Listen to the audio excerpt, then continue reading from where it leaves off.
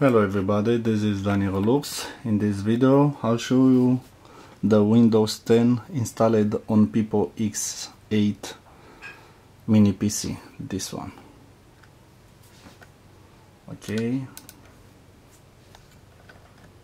So the Windows 10 is booting, the Windows is activated, all the drivers are installed properly, everything it's working very very nice and very very fast and as you can see just to sign in.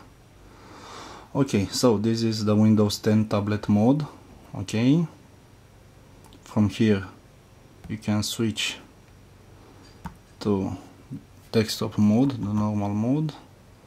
So we have 8 gigabyte and a half free internal storage. Here let's take a look notification center here we have tablet mode connect note. So looking for devices to connect note. Here you can write a quick note. Okay all settings VPN here other VPN Bluetooth brightness. Okay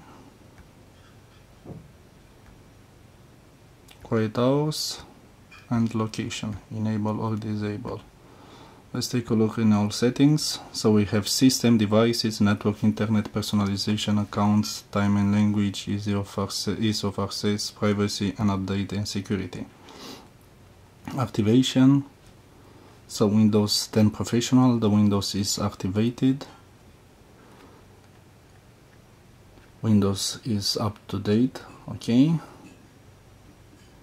let's go back. Here in control panel. System. So Windows 10 professional. Let's take a look in device manager. So everything is properly installed here. All the drivers. You'll find a link in this video description with the Windows 10 drivers for Pipo X8 mini PC okay this is a dual boot mini PC with Android KitKat and Windows 10 now let's take a look at the application. So this is the weather this is my town. It's very hot today as you can see tomorrow and the next day is very very hot let's take a look at the Play Store Windows Store, okay. So we have home application. Everything is very fast games. And music. Okay. You can you can turn it to tablet mode again and you can use it very very easy in tablet mode. Okay.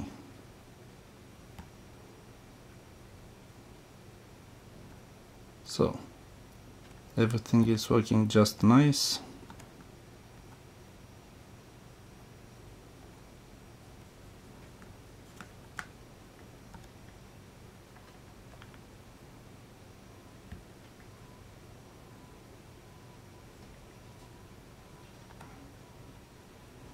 So in system we have display, notification and action, application and features, multitasking, tablet mode here, power and sleep, storage, okay, offline maps, default application and about.